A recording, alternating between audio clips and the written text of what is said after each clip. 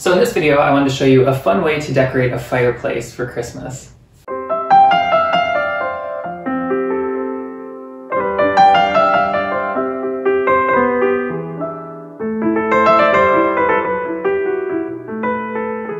So I already have my mantel garland hung and lit with some incandescent clear Christmas lights. Because I didn't want to have to put nails into this mantel, I actually have the wreath up resting on top of a candlestick holder that's kind of a color that blends in with the fireplace mantel.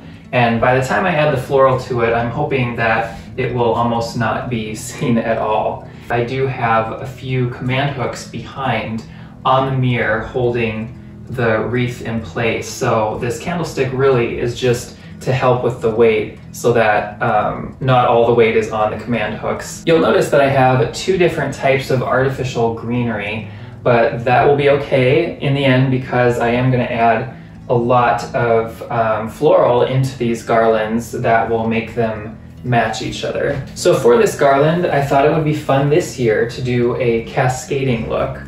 And so I'm gonna add a few pieces of artificial garland, and these will just be used as a base to add floral ornaments and the other embellishments too.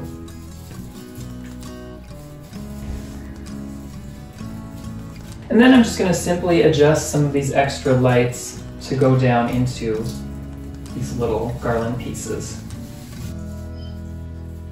So next I'm gonna start adding in some artificial pine. So basically, I'm just going to poke these into the garland. Now I do have a variety of different pine floral, so I'm gonna make sure that all of the pine floral is evenly spread out through the garland and also this wreath.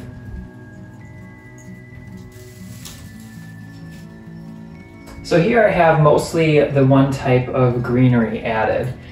So as you can see, I pretty much have it evenly spaced throughout. There's a few places that are a little heavier than others, and that's done a little bit on purpose. For one, this type of floral covers better, so I'm using it stronger in areas where I want to kind of blend all of this together. So next I'm just gonna continue adding the different pine floral one type at a time.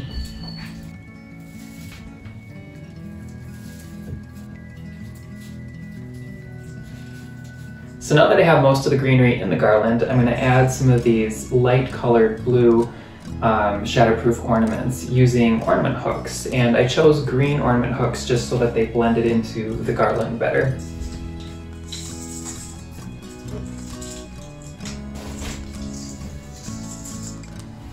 So next I'm going to add some of these hunter green glass ornaments. So next I'm going to add some gold shatterproof ornaments. So the next thing I'm going to add is some ribbon. So I'm just going to make a loop, increase it, make a loop, increase it, and one more. So these are just going to have three loops. So they'll be kind of more simple bows than what I did last year on the fireplace. So the next thing I'm to do is fold the little ends upward, like so, and then I'm going to use some wire, scrunch this, and unwrap some wire around to hold this. And then I'm just going to prune this tail off, but I am going to leave the tails on these a little bit longer. Then I'm just going to place this into the garland. Now don't worry if your bow doesn't hold its shape while you're working it into the garland because you can always fluff it later.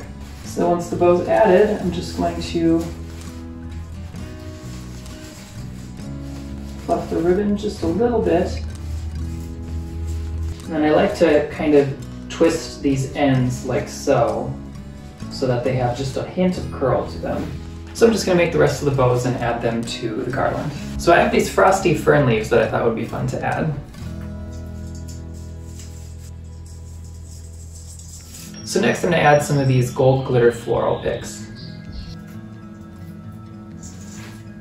And then I'm gonna add some of these glittery sprigs.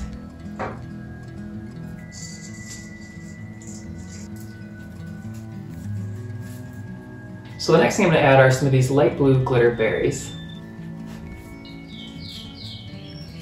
And then I'm going to add just a few sprigs of frosty eucalyptus. And then I'm just going to add some of these small glitter shatterproof ornaments.